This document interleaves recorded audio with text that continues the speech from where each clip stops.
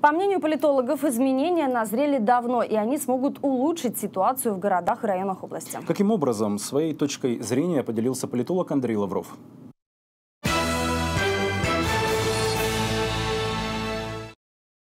Ну что же, на самом деле, вот я лично воспринимаю эти перемены в правительстве как давным-давно назревшие.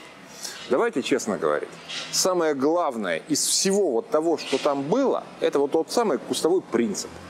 Когда область берет конкретную э, ответственность за все, что происходит в муниципалитетах.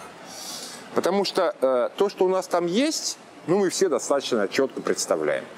Есть люди, которые возомнили себя какими-то князьками, которые якобы правят какими-то уделами, которые могут уехать, простите меня, э, из города отдыхать на юг, когда в городе нет тепла.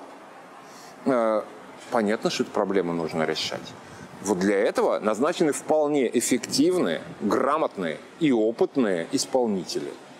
Я думаю, что в общем э, в следующем отопительном сезоне у нас подобных проблем в области не будет ни одной.